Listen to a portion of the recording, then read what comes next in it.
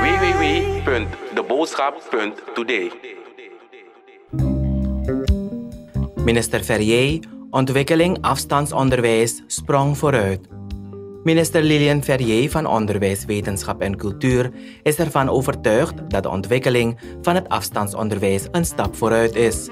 Dit heeft zij op maandag 4 februari gezegd tijdens de officiële overdracht van de Distance Education Hub op het complex van het Polytechnisch College.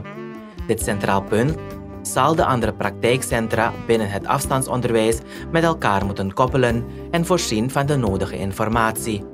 Vanuit PTC willen wij alle studenten bereiken, ongeacht waar zij zich bevinden.